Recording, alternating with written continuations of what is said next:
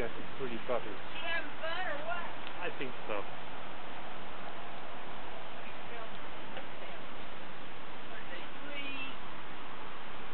You like that new dog. Do you like that new dog?